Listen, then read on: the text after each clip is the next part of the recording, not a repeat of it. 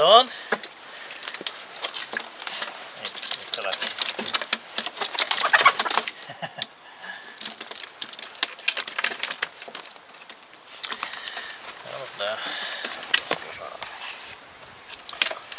I dag er det litt grøt og litt yoghurt, og det er litt gammel God morgen Norge.